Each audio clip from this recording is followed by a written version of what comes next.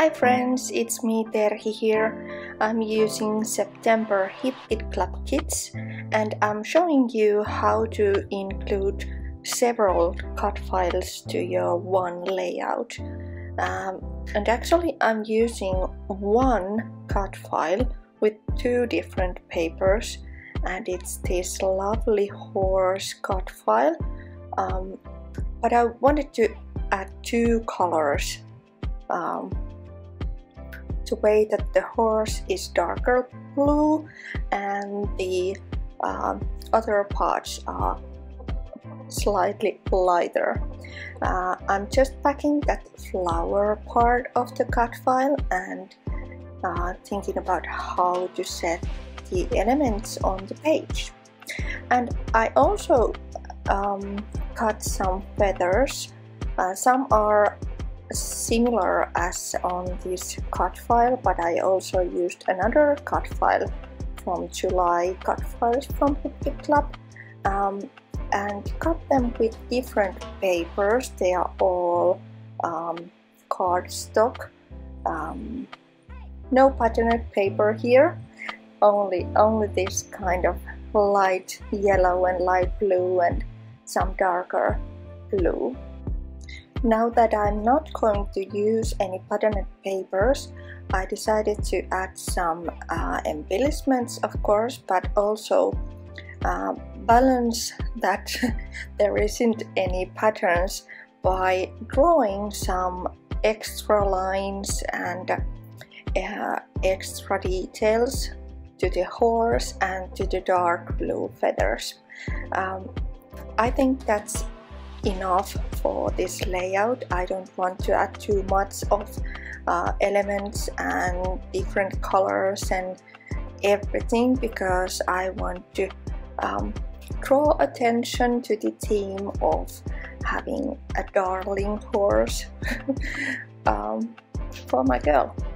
Uh, I added first that this is totally amazing sticker uh, partly on top of the photo but I decided later that I will uh, change the place um, and give more room for the photograph. But as you can see I really loosely uh, draw the lines of the horse and um, give some more uh, lively look for the horse. Um, and I also make the similar uh, effects for the feathers. And I think this gives much more dimension for the page. Um, and as always I want to add some uh, art archy look for my page. And that's why I'm using the color kit. Um, August color kit. I think it's August. Anyway um, there were blue, yellow and red Lindy's um, mists. And they are so fabulous and I really love them because uh, when I add slightly more water to the colors I can get light uh, blue and light yellow and I can mix um, some green and anyway those are really basic colors and you can make all kind of colors if you just keep on playing and adding adding water more and less.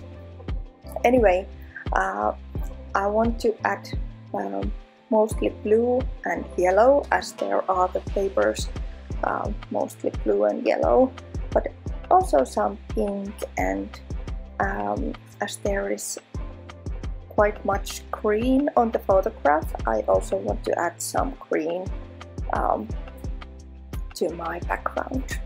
That's why I love the white cardstock as a background because you can always continue the colors um, from the photograph or from the papers to the background by just adding some drops of something uh, either watercolors or mists or anything and for last I add some some more uh, thread behind some of the elements on the page to soften up the page a bit. That's all. Thanks for watching.